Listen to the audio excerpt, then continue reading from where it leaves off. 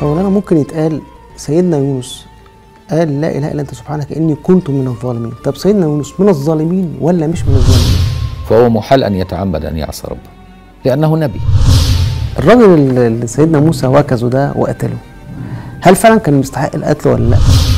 إني لا يخاف لدي المرسلون إلا من ظلم هل من المرسلين ظالم دايما أفعال الأنبياء على مراد الله. يبقى إزاي يكون عبادته لربنا على ما هو مراد الله أن يعبد. أنت ينفع تروح تشتري كيلو إيمان ولا 2 كيلو حكمة ولا لتر حلم؟ دي أشياء معاني. عصمة الأنبياء مع الدكتور يسري جبر يحاوره الأستاذ أحمد عبد المنعم. يأتيكم بإذن الله يوم السبت عند الساعة الحادية عشرة مساء بتوقيت مكة المكرمة ويعاد في الأوقات التالية.